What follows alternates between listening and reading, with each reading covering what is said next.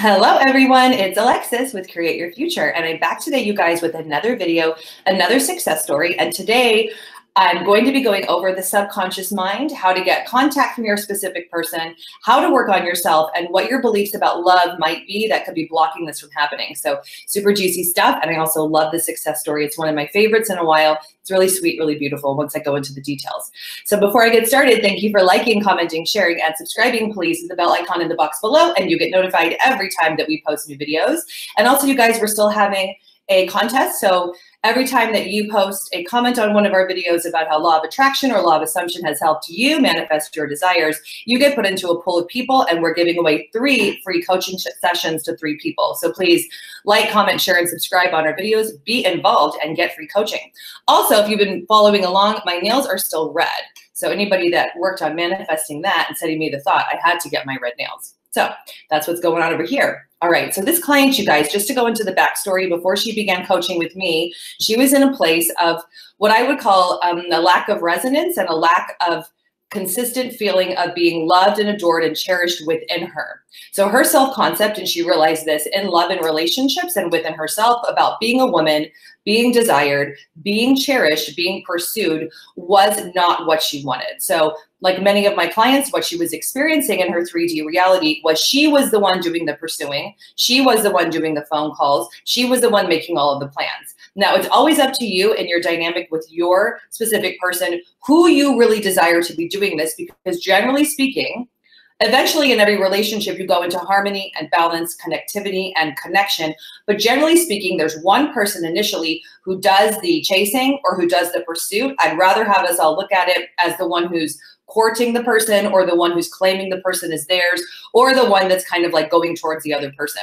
It's rarely happening in our 3D experience where both people are doing this. There's usually one person who initiates, one person who goes towards the other person, and usually that person is the one who initiates sexually, which is pretty interesting. But we're family friendly, so I'm not gonna go into that today. All right, so anyways, this client was experiencing what she didn't want, which was she was the one doing all the pursuing. She began to feel like she was anxious, nervous, frustrated, afraid, worried about if he was going to make the plans with her, about if he would answer the phone. Now, if you go into a pursuit pursuit mode and then you feel anxious, frustrated, nervous, out of balance, you feel worried and you feel like you're not in alignment with yourself or you're not in congruent with yourself, that might tell you that you don't want to be the one playing that role or in that dynamic. Generally speaking, the person who feels like they uh, they appreciate that role, they like do, being the one who makes the plans, they like being the one who goes towards the other person. That person generally feels in resonance within having that role in the relationship from the get-go because like we all know, relationships do go through phases. There's the initial period, there's the period that you go into once you're in resonance with the relationship, and then it moves forwards. Okay, so just an idea. If you're not in resonance with your relationship dynamic, then remember, you're the creator of your reality, you're the creator of your experience, and that means you can change it. All right. So this story is super, super sweet and short, so I'm just gonna read it. Dear Alexis, thank you so much for your help with my specific person. Everything has completely turned around for us, especially the contact and communication. Before I started coaching with you, I was the one reaching out and I felt like I was constantly chasing him.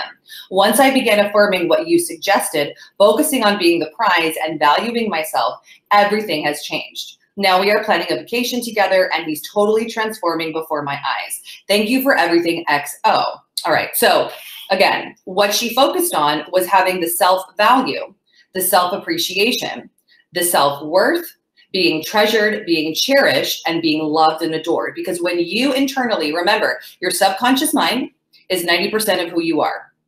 So if you're the opposite of this right now and you're feeling like you're in a dynamic or you're in an inner sense of self that you're not congruent with, that would tell us that your higher self, so your inner spiritual self has a higher calling for you and wants a resonance with your inner alignment for a different state of being.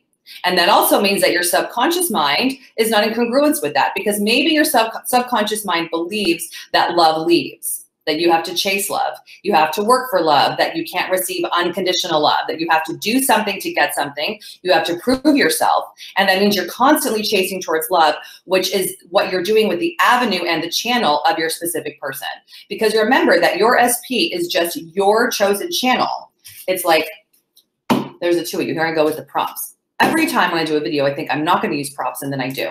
if, imagine that this is you and your reality. This is your SP specific person in your reality. So that means that all you've done in your reality is choose this person for the human experience in your human body for love, the channel for love, the channel for adoration, and the channel for growth. Because there, because there's no way to grow and evolve more rapidly in your life than to fall in love, be open to the, the love experience, and truly evolve at a spiritual level. Okay. So, anyways, if you feel as if your channel for love, you have to chase after it, go towards it, make it happen, work for it, do something for it, prove yourself, then you're not in resonance with the self concept that you deserve love, you're worthy of love, you deserve unconditional love, and you're worthy of unconditional love. So that's what I had this client do. She worked on her self concept, which I've talked about in so many videos, but I've been getting asked a lot Alexis, what is my self concept?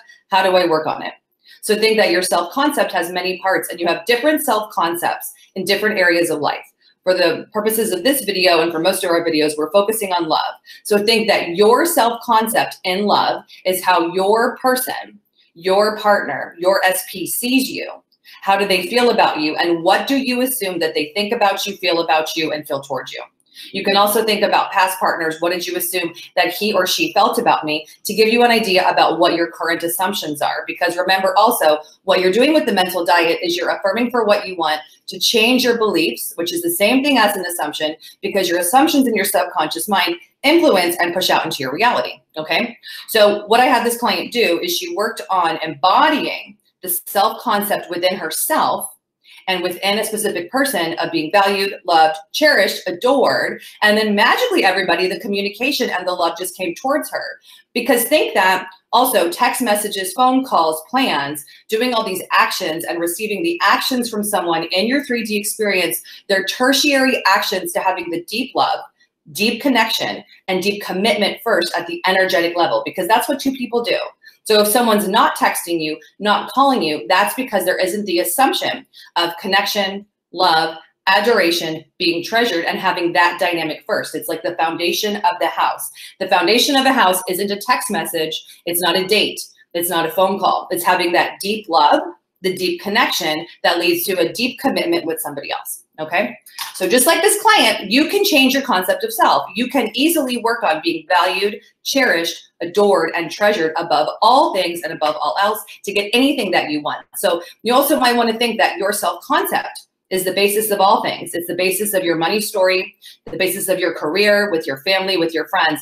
But you might have different self concepts and different ideas about self in different areas. So for love, working on being cherished, valued, adored, treasured, and that love comes to you, love stays with you, and that you're also safe in love is very important for all of us. All right, you guys.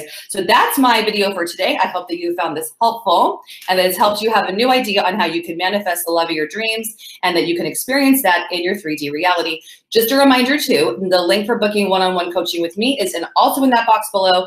And I have two self-study courses that are now available. One is how to become a master manifester that's geared towards anyone who's had trauma in relationships, working on the foundational levels of safety, security, and stability within yourself. And then also get your SP now, which works on recreating your SP and recreating the love dynamic of your dreams so you can again experience it in your 3D reality. All right, you guys. So I'll see you in my next video. Have an awesome day. Get on your intentions and make it awesome. See you soon. Bye.